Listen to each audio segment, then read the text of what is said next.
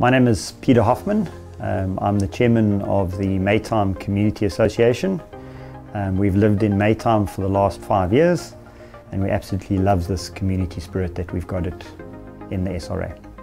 Maytime is such a sought after area to live in because it provides excellent security with big properties where you can live, grow, raise a family under a secure environment. It has the benefits of estate type living security without any of the drawbacks of having to um, be dictated to by a body corporate.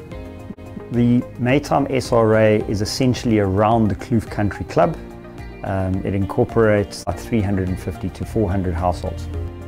The primary objective of the Maytime project is to provide excellent security um, we currently have approximately 53 cameras with excellent support from our Blue Security AROs, um, which is, uh, really gives us benchmark security within our precinct. The Maytime SRA is not only about security, it also provides a number of municipal top-up functions, additional mowing, additional litter clearing, uh, bin clearing day, um, it provides a lot of support around our perimeter fencing uh, in terms of making sure that it's all secure and clean and maintained, as well as just greening of our area.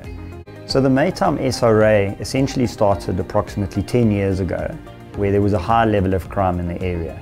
A number of residents got together and formed uh, community groups within the, within the precinct. They put up a number of guard huts, which initially uh, were funded by sort of groups of residents and I think this progressed to saying we need a more formal and routine uh, system and that progressed towards the SRA being developed. The Maytime project is really driven by the residents. Um, we have an active committee that uh, we re meet regularly. Uh, we get a lot of feedback. We have a great team. Um, we have a lot of support from Blue Security and our other service providers.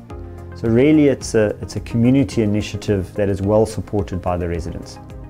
I'm Odie Fasveld. I'm the precinct manager for the Maytime SRA, that's the special rating area in Maytime. The Maytime SRA camera monitoring staff monitor a total of 55 cameras 24-7. 48 overview cameras that monitor the surrounding areas are highly visible to deter potential criminals. In addition, we have seven automated number plate recognition cameras which recognize cars that have been flagged stolen, hijacked, or involved in criminal activity. These alerts are then circulated to SAPS, relevant security companies, and other role players. Then, proactive steps are taken to prevent crime. It's good to know that Blue Security have made all efforts to support our project. We have a very coordinated approach to the security initiative here at the Maytime precinct. With our two Blue Security dedicated vehicles, our three entrance guards, our business sector guard, and our camera monitoring staff, as well as myself, are all on the same dedicated radio frequency.